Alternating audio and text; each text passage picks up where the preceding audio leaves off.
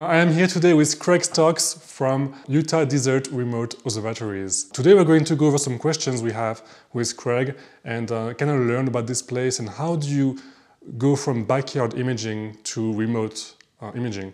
So this is a remote observatory so you can put your stuff here and you know image whenever you want from your home. So first of all, um, tell us about yourself. Uh, what do okay. you do? I mean, well, my background, I back in the 70s, I was working as a photographer, and I eventually figured out that being a photographer was not a good get rich quick scheme. It's not a good get rich slowly scheme either. It's a, it's a good go broke slowly scheme.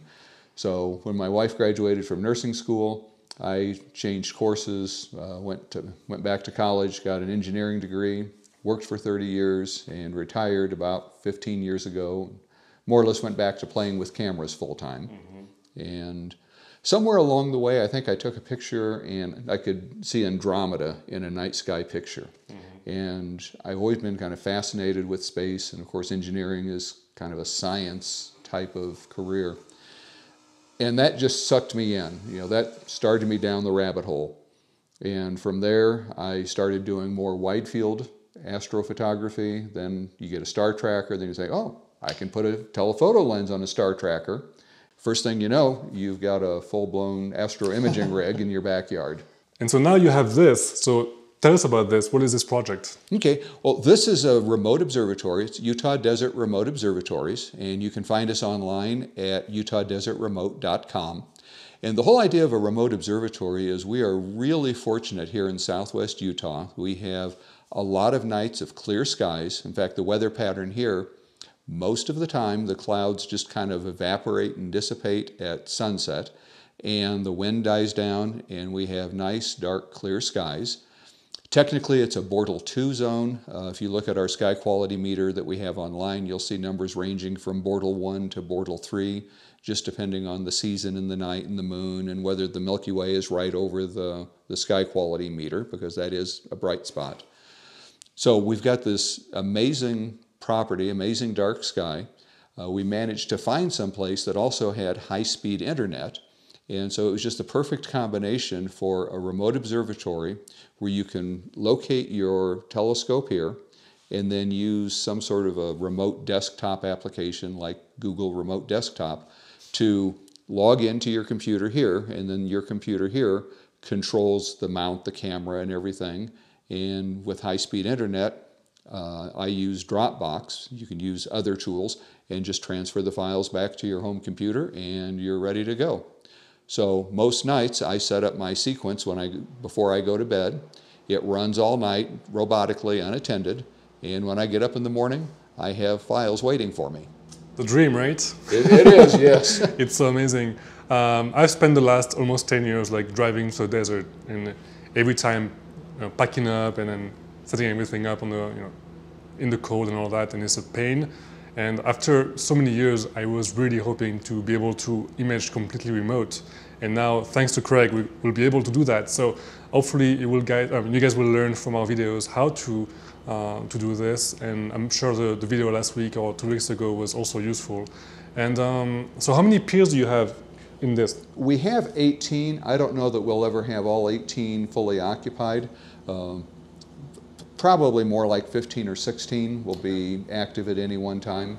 Nice. So plenty of space for you guys if you want to, yep. to image remote.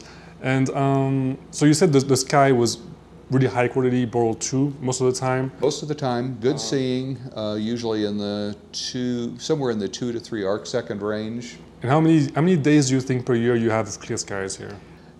I have been imaging somewhere between 70 and 85% of the nights. That's good. Now, now that's not all night, that's at least part of the night. Uh, one of the things I really found when I started imaging remote is I get more data and better data. And the better data is kind of obvious because of the dark sky. You get more data because you don't have to drag your stuff out into the desert or even out into the backyard. It's already set up, all you have to do is turn it on.